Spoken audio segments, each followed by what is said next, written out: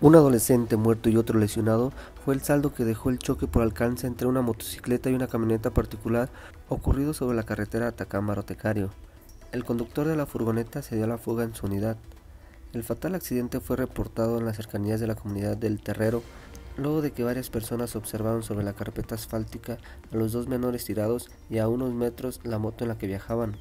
Al sitio se trasladaron paramédicos de protección civil, los cuales confirmaron el deceso de José Benito R., de 13 años de edad, y auxiliaron a Cristian G., de 14 años, el cual presuntamente tripulaba la motocicleta. Los afectados son vecinos de dicha población, perteneciente a la tenencia de Tecario.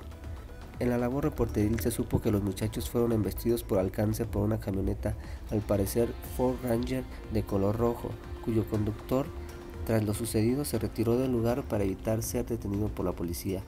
La zona fue resguardada de acuerdo a protocolo para que los expertos de la Fiscalía General del Estado realicen las actuaciones de ley, así como el levantamiento del cuerpo para su posterior traslado al CEMEFO de la región, informó la agencia de noticias Red 113.